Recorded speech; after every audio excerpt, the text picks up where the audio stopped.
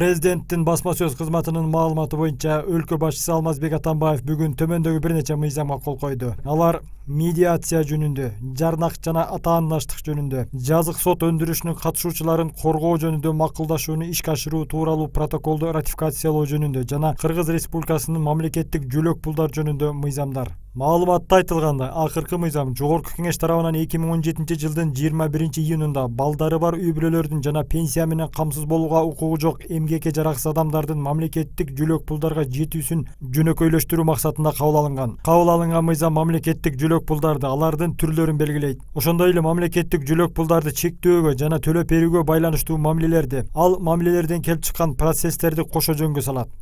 Кыргыз республикасындагы мамлекеттик жөлөк пулдар жөнүндөгү мыйзамдын жаңы редакциясы принципиалдуу түрдө жөлөк пулдун объектиси катары баланын өзүн аныктайт жана улуттук эл аралык мыйзамдарда бекитилген юридикалык милдеттенмелерди ишке ашырууга көмөктөшөт.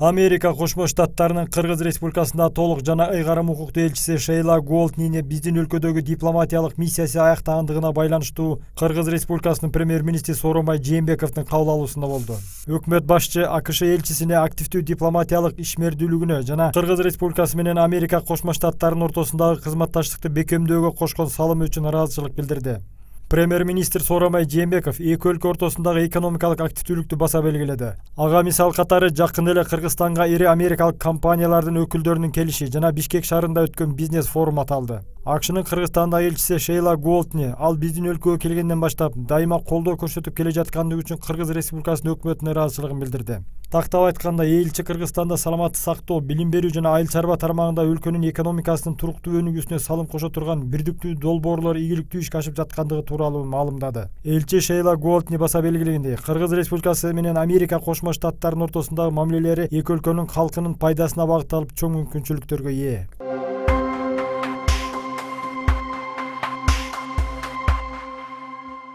кыргыз мамлекетинин куралдуу күчтөрүнүн абадан коргонуу күчтөрү ленин чокусунан германиялык альпинистти куткарып калды өлкөнүн куралдуу күчтөрүнүн башкы штабынын маалыматына ылайык. Куткаруу иши отуз биринчи июлда жүргүзүлгөн. Экипаждын курамындагы командир давид акунов штурмандык учкуч лейтенант зарылбеков борт техник кабылбаев бийиктиктен ош шаарына германиянын жаранын алып түшкөн. Альпинист бийиктикке чыгууда ар кандай жаракаттарды алган. Куткаруу операциясын жүргүзүп жаткан учурда өзгөчө кооптуу учурлар жаралган жок. Альпинист ленин чокусунун ылдый жагындагы төрт миң метр бийиктиктеги ачык таш аймагынан алынып келинди куткаруу иш аракеттери жарым саатка созулду. Учурда анын абалы туруктуу экипаж түштүк аймакта нөөмөттө турган деп жазылат маалыматта. Абадан коргонуу күчтөрү бир жыл ичинде орто эсеп менен жыйырма отуз куткаруу иштерин аткарат.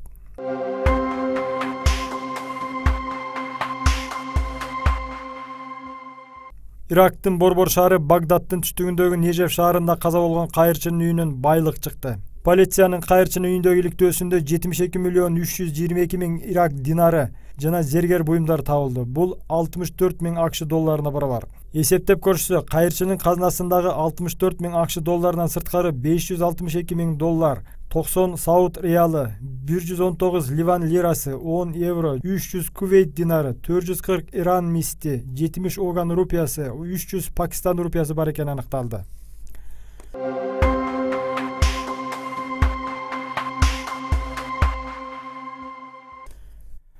түркмөнстандын президенти гурбангулуу бердумухамедов өлкөнүн аскердик күчтөрүнүн машыгуусуна катышты өлкө башчысы күч түзүмдөрүнүн жетекчилерине курал колдонууну таамай атууну жана душманга бычак ыргытууну көрсөтүп берди тасмадагы кол чаап тургандай жөнөкөй жоокерлер эмес алар өлкөнүн коргоо ички иштер коопсуздук министрлери башкы прокурор бажы жана миграция кызматынын башчылары күч түзүмдөрүнүн жетекчилери мындан аз күн мурда эле түркмөнстандын президенти күч түзүмдөрүнүн жетекчилерине спорт менен кандай машыгыш керек экендигин көргөзүп берген болчу.